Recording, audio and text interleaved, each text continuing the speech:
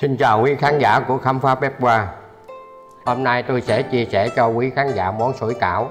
Sủi cảo là một món ăn nổi tiếng của ẩm thực Trung Hoa. Sủi trong tiếng Trung là nước Có nghĩa là món ăn luộc chín bằng nước. Khác với há cảo là hấp. Rồi để làm món sủi cảo chúng ta cần nguyên liệu Xương gà, xương heo, gà xá sùng, tôm, cá thác lát, mỡ heo, da sủi cảo Phần gia vị của mình có đường phèn, bột năng, tiêu, dầu mè, hành tím bằm, tấm mèo, tiêu sọ và tôm khô, các gia vị thông thường và hành phi, tỏi phi, cải ngọt, hành lá, giá sống, hẹ và ngò. Để nấu nước dùng chúng ta cần nửa ký xương heo, nửa ký xương gà thì trước tiên mình phải xử lý cái xương trước mình mới nấu nước dùng. Rồi các bạn cho khoảng 1-2 lít nước lên, bật lửa lên cái nước sôi khoảng 80 độ thôi. Các bạn không cho sôi quá. Các bạn cho một muỗng muối vô. Rồi, nó vừa sôi 80 độ thôi, các bạn thả xương vô. Ha các bạn sôi quá sôi quá thì cái xương nó không ngon. Rồi, sau khi thả xuống xong đó cái nước nó sôi lại thì các bạn vớt ra. Vớt ra xong các bạn xả nước sạch sẽ xong rồi các bạn bỏ bỏ vô nấu nước dùng.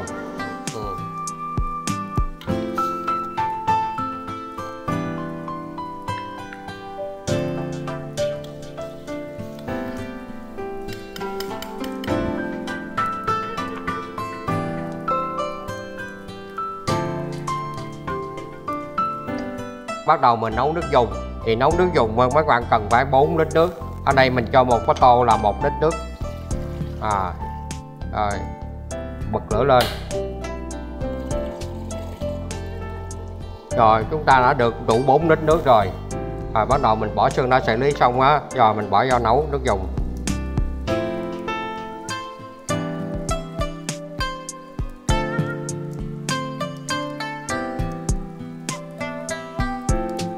Rồi bây giờ mình rang tiêu tôm khô và xá sùng để mình nấu nước dùng.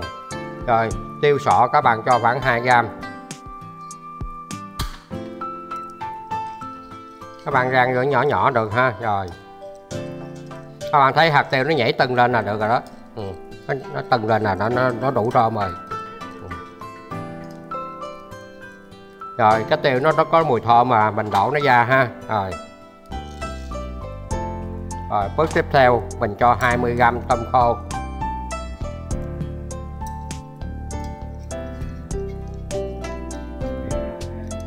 Rồi tôm khô nó có rau cây giang và nó có mùi thơm rồi mình đổ ra Rồi. Rồi bước tiếp theo là mình cho 10g sát sùng. Sát sùng các bạn phải rửa cho sạch nha Nó còn cát rửa cho sạch xong rồi mình, mình, mình mới bỏ rau ra. Ừ. Ờ, rồi sát sùng các bạn vàng lửa nhỏ thôi lớn quá nó khét.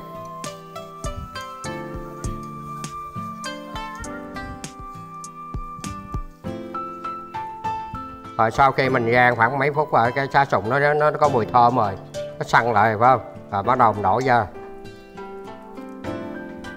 rồi. Rồi, sau khi mình rang xong, mình đổ đổ vô nồi nước dùng. Rồi bây giờ mình bỏ thêm 5 gram dẻ ngò vô để tạo mùi thơm đặc trưng cho cái nước dùng của mình. Rồi sau đó mình hầm một tiếng rưỡi mình có thể sử dụng được rồi. Rồi thời gian nước dùng mình đã hơn một tiếng rưỡi rồi. Rồi bây giờ mình vớt cái xương ra. Các bạn vớt xương các bạn lưu ý vớt nhẹ nhẹ thôi. Không vớt mạnh quá nó tan nó, nó đục đục cái nước dùng hết.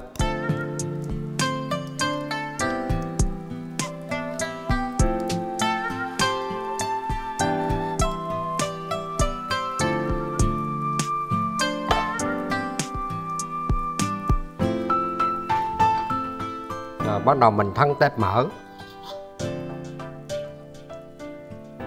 Rồi mình đổ nước vô, mình trần sơ qua cái mỡ.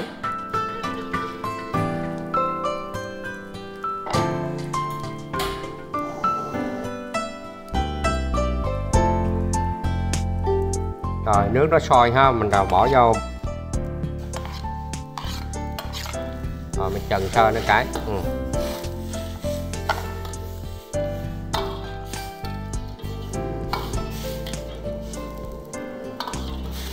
à, mình trần sơ đó nên mục đích để nó là cái, cái mỡ heo đó, nó không bị tanh. Ừ.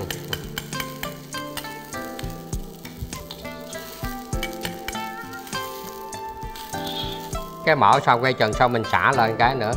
Giờ bắt đầu mình thắng mỡ ha. Rồi thắng mỡ các bạn lưu ý đừng có mở lửa mở lớn quá mở lửa nhỏ thôi. Rồi mở lửa nhỏ các bạn xào từ từ ha.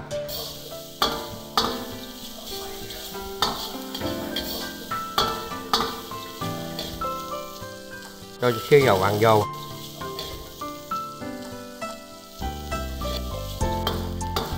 Rồi.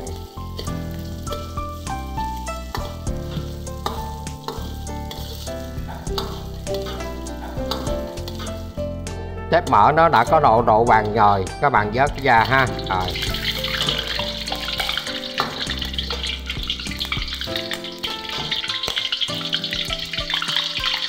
Rồi, vớt nó vừa ra xong phải không các bạn chế chút xíu dầu nguội lên.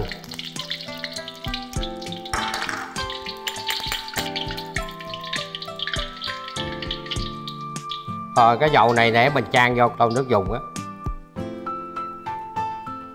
Rồi tiếp theo mình làm nhân sủi cảo. Thì trước tiên làm nhân sủi cảo, mình phải sơ chế cái tôm lột vỏ tôm trước. Ừ. rồi. Tôm nguyên con các bạn lột vỏ da dọc cái đầu ra, ha. Bóp này ra, rồi nó không bị hao thịt ừ.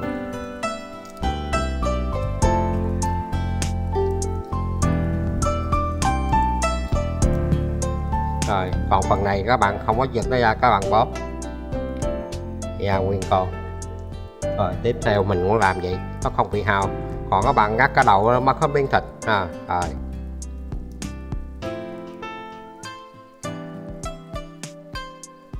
Rồi, phần này đó các bạn bóp nhẹ cái ha. Rồi, các bạn đừng ngắt đó. Rồi, bóp hết nó lòi sạch nha. Rồi. rồi, hai con ha. Rồi, sau khi mình lột vỏ tôm xong xuôi, mình lấy chỉ tôm ra. Rồi, các bạn lấy ra tâm ha. Rồi, chọt vô. Ngay chính giữa các bạn kéo lên.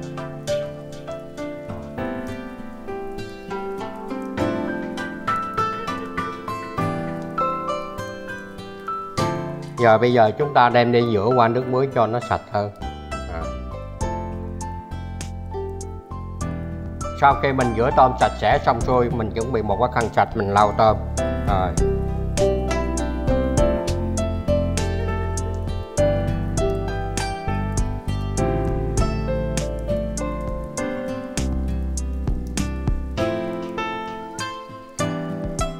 Tại sao mình phải lau tôm nếu mà mình rửa xong xuôi, mình không lau tôm á lúc mình đánh cái nhân nó rất là nhão, nó không có độ dai rồi xong xuôi ha, mình lấy ra.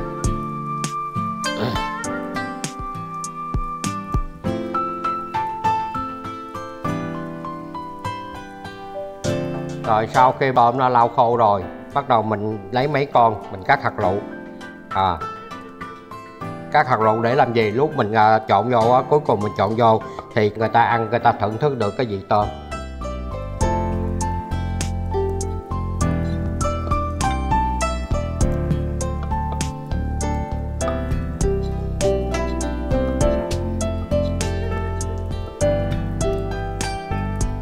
Rồi. Rồi bắt đầu mình đập tôm ha.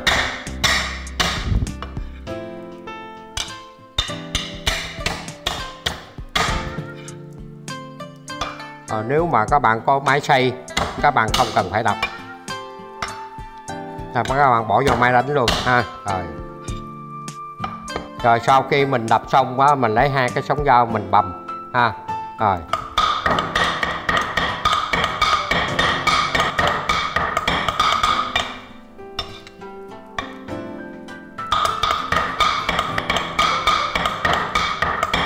Rồi.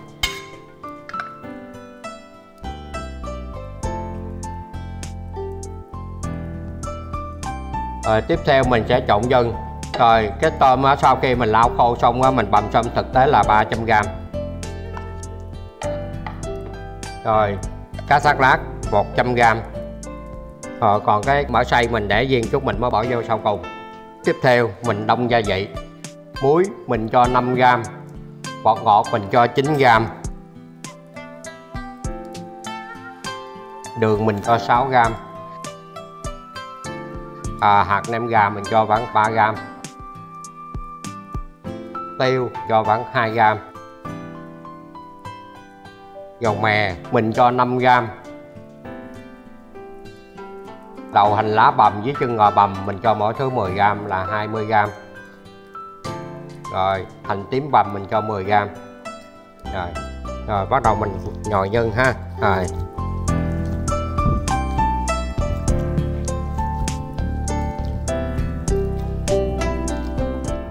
Rồi các bạn thấy nó có độ dài, phải không?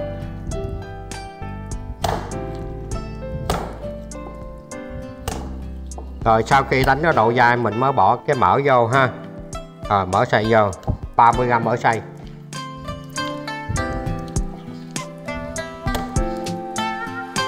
Rồi, xong xuôi mình cho 5g bột năng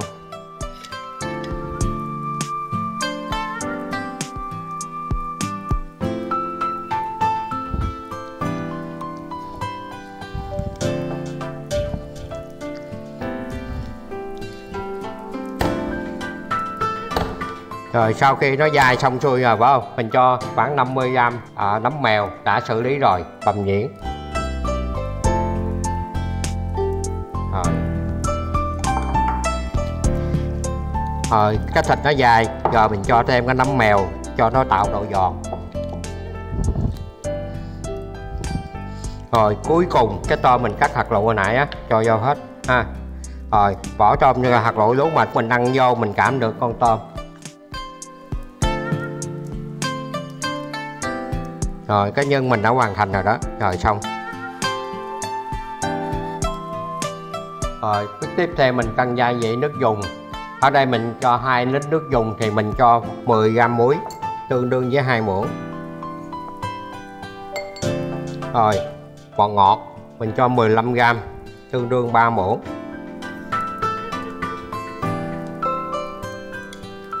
Rồi, hạt nêm mình cho 3 muỗng, tương đương 15 gram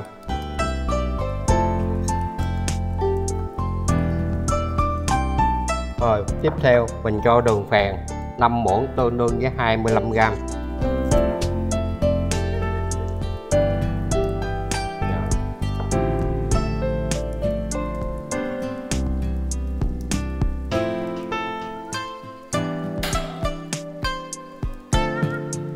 Rồi, ở đây hai lít nước dùng. Mình cho hết tất cả gia vị mình mới vừa cần xong. Rồi sau khi cho gia vị vô các bạn cho có vá quậy cho hòa tan.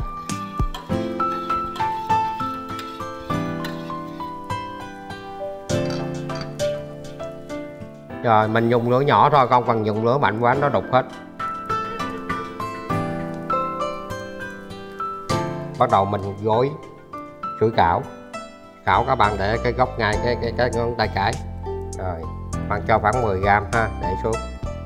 Rồi, bạn xếp xếp xếp góc lại. Ừ bắp lại ha. Rồi rồi, tay trái dịnh lại, tay phải bắt đầu xếp đít xếp đường nhân. Rồi, bên đây các bạn có thể tiếp, bên trái. Và bên phải.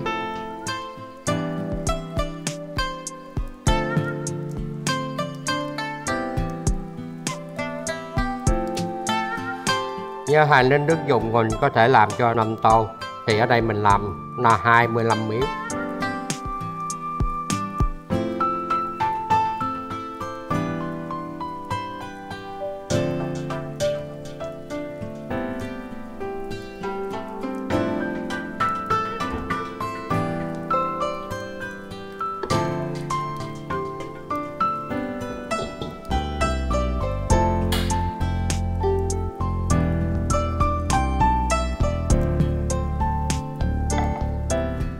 Giờ nước sôi mình trần cải trước.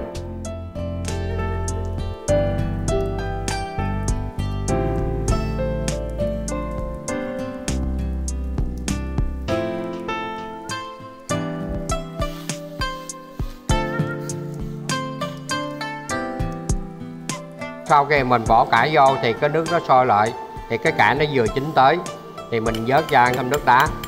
Rồi.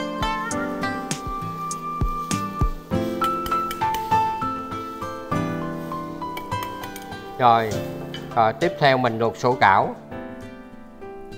Rồi các bạn lưu ý trước khi luộc sủi cảo cái nước nó phải đủ sôi. À, nếu mà các bạn nước không đủ sôi thì cái cái nước sủi cảo nó sẽ bị bở. Rồi ở đây mình luộc 5 viên ha. Rồi rồi mình luộc 5 viên một phần ăn.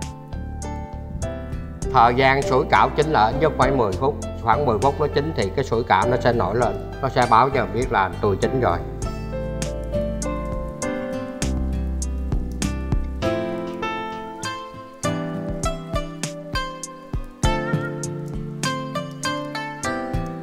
Sủi cảo nó nổi lên là nó chín rồi. Rồi bắt đầu mình vớt ra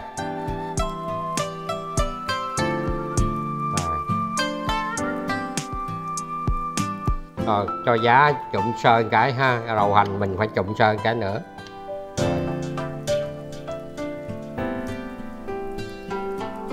Rồi. À, cái giá ha. Rồi để vô. Ừ. Rồi mình cho một cọng đầu hành vô ha rồi cái cải mình cho mấy lát vô cho tạo màu xanh. Rồi, hẹ mình để ngoài ha, bên hông ha. Rồi rồi xong. Rồi, món này đặc trưng là của người qua thì cho nên mình phải có cái mỡ heo vô cho nó tẩy mùi thơm lên. Rồi rồi, bước tiếp theo mình cho tép mỡ.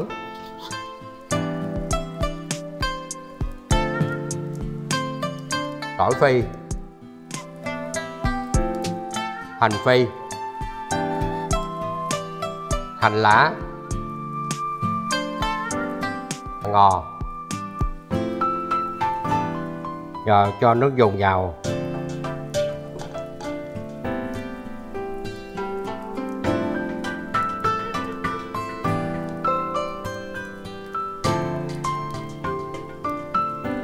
Rồi cuối cùng mình cho tiêu vô.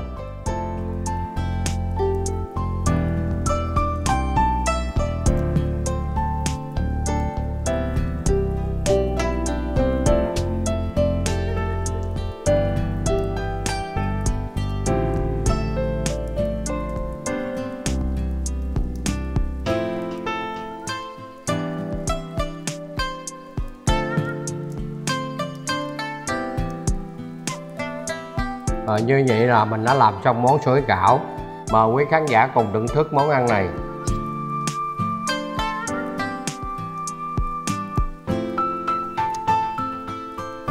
Rồi mùi nước dùng ngọt thanh à, thơm.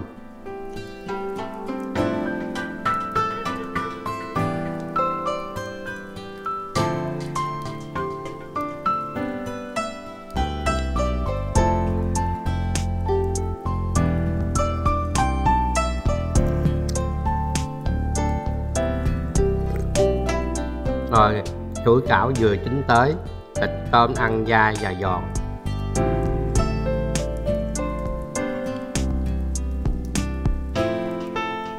Rồi da chuối cảo nó mịn, nó vừa tới, rất là ngon. Ừ. Hẹn lại quý khán giả trong chương trình kỳ sau.